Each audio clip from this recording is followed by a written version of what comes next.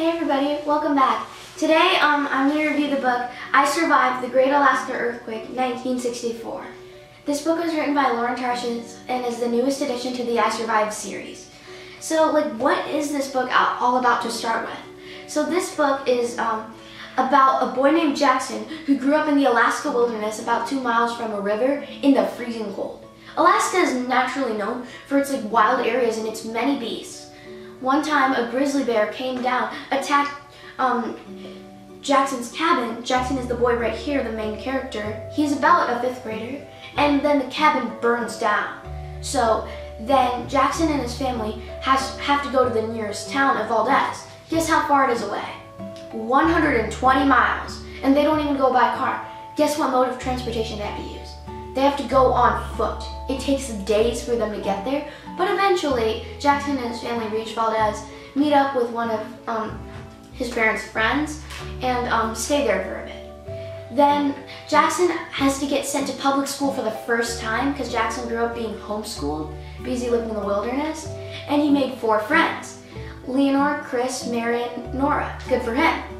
However, one time, all five of them were at, around the waterfront along with a lot of other people because a ship came to deliver resources. But, I mean, weather had its own plan. So, a massive earthquake of magnitude 9.2, the, the second strongest earthquake in, in history, hit Alaska and shook up everything. All five of them ended up getting separated. And there's a lot of trouble, but this book shows how they survived the greatest earthquake in American history. I'm not going to give you too many details about the earthquake, but let me just highlight most, some of it. So, um, Jackson was standing in, in front of this massive ship that came to deliver resources to um, the town itself, and um, guess what happened? This massive shaking came up, and then he literally saw some of the land was falling into the ocean. Really crazy for him to process, but then he found all these massive cracks were just opening around him. The shaking intensified, got worse. Then, all the cracks, they got bigger and bigger. One opened right below him. He plunged into the darkness. However, was Jackson dead yet? No. He landed on the ground safely, quite, quite deep.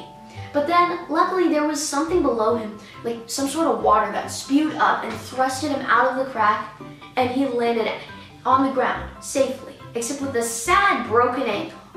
But then, friendship really helped him this time because all four of his friends saw him fall out and they all came to him.